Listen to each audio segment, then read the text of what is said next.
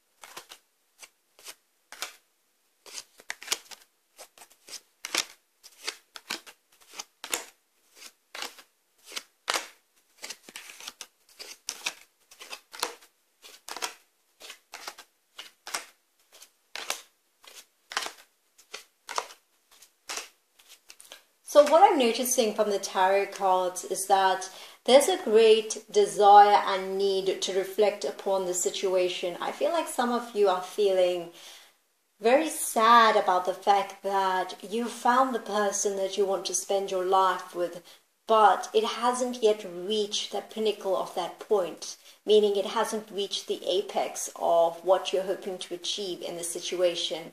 It is one that is showing a lot of individuals, a lot of energies. And so, what I'm noticing from this individual's energy, the person that you're dealing with, they're trying very hard to not be controlled by their emotions, to not be led by their emotions. They're trying to be rational.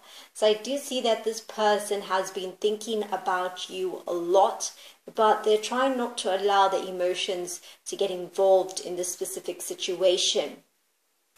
In terms of your energy, I'm also noticing that you have this very deep desire to be analytical, to find a solution, to look closer, to study the situation more, because it's not enough for you to just be led by your emotions. So there's a complete difference between how you are approaching the situation and how this individual is approaching the situation.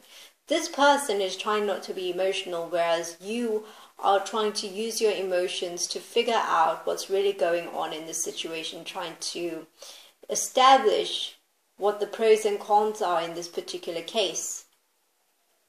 Now, when it goes to what's on their mind, there's a sense that this person is not happy in their current situation.